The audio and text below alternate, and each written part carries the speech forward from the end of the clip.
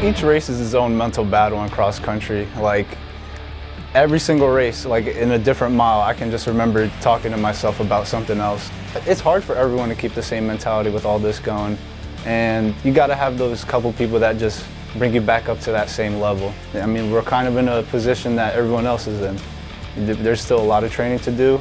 Just run all out on max. The MAAC championships, we got a Monmouth, Iona, great, really great stellar teams. So it's going to be exciting to, you know, compete against them, see what how our training lines up with their training. I, I, look up to Grace, she's our senior captain runner. She sets the tone for the team of what's expected from our coaches and what we need to do as the women's cross country team is, you know, great in the classroom and on the field. The weather is the same. It's always cold during cross country, so I'm used to putting in the mileage outside when it's cold, bundling up. Everyone's adjusted to the COVID era, and I'm just excited and happy to be racing.